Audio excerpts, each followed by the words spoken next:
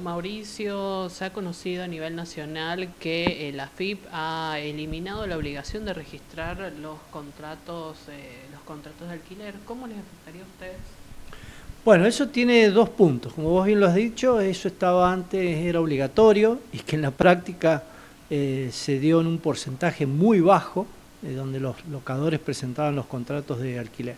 Y con esta nueva resolución de AFIP, como vos lo expresa, ya deja de ser obligatorio, ¿sí? nos estamos refiriendo siempre a todos los inmuebles que tengan destino vivienda familiar. ¿sí?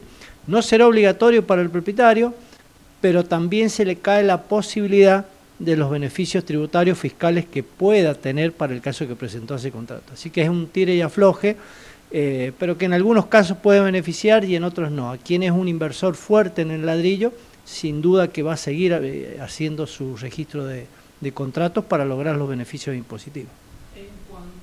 Al mercado, ¿esto cómo, cómo le influiría?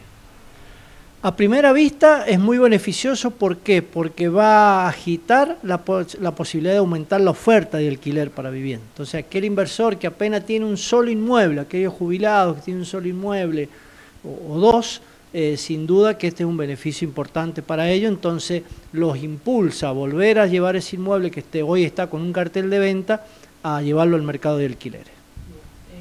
Eh, en lo que va de estos, de estos ocho meses de, del 2024, ¿han notado este cambio de que hay algunos inmuebles que hayan pasado de la venta al alquiler? Sí han sucedido primero por la necesidad eh, de claridad que hay respecto a, las normas para tomar un nuevo alquiler y segundo porque el mercado de compraventa está colapsado. La oferta supera ampliamente a la demanda, entonces eso hace que algunos propietarios vuelvan a repensar esa decisión y lo llevan al, al mercado de alquiler a los, los incrementos que han tenido los alquileres eh, en estos ocho meses, eh, ¿lo han sufrido eh, los locatarios justamente también teniendo en cuenta esta excesiva oferta para la demanda que hay?